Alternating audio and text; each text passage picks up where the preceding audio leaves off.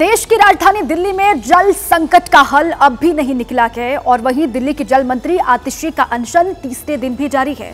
इसी बीच में आम आदमी पार्टी के नेता आज दिल्ली के उपराज्यपाल वीके सक्सेना से मुलाकात करेंगे।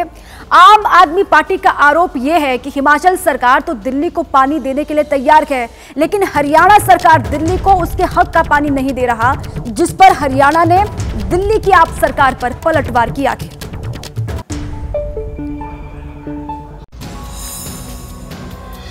सियासी दिल्ली को पानी कैसे और कब मिलेगा? इस सवाल का जवाब किसी के पास नहीं। अगर कुछ है तो दिल्ली के पानी में सुलग रही सियासी चिंगारी। दिल्ली के जल मंत्री आतिशी अनशन पर हैं। आज तीसरा दिन है। आरोप लगाया जा रहा है कि हरियाणा यमुना नदी में पानी के हिस्से को नहीं छोड़ रहा है। दिल्ली की जनता ने बासठ विधायक केजरीवाल और आम आदमी पार्टी के जिता दिए।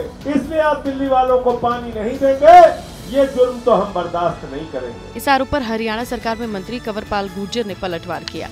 उनको चाहिए कि वो अपना जो उनकी व्यवस्था है, उसको ठीक करें।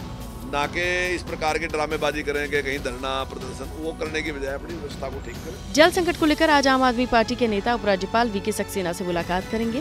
वहीं शनिवार को दिल्ली बीजेपी अध्यक्ष वीरेंद्र सचदेवा, बीजेपी सांसद मनोज तिवारी, बांसुरी स्वराज ने भी वी के सक्सेना से मुलाकात की, पानी की समस्या पर बातचीत की। उधर उपराज्यपाल ने जल संकट से निपटने को लेकर दिल्ली सरकार के तरीके की आलोचना की। वीके सक्सेना ने जल संकट के लिए आम आदमी पार्टी की सरकार को जिम्मेदार ठहराया है। जैसे ही घड़ी का काटा दोपहर ढाई पे आए, बबीता जी का दिल सास बहू साजिश के लिए मचल जाए।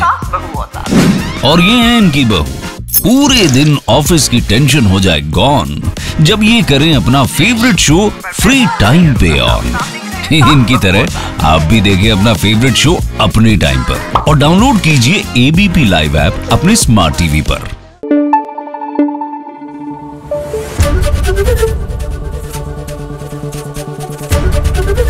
ABP news.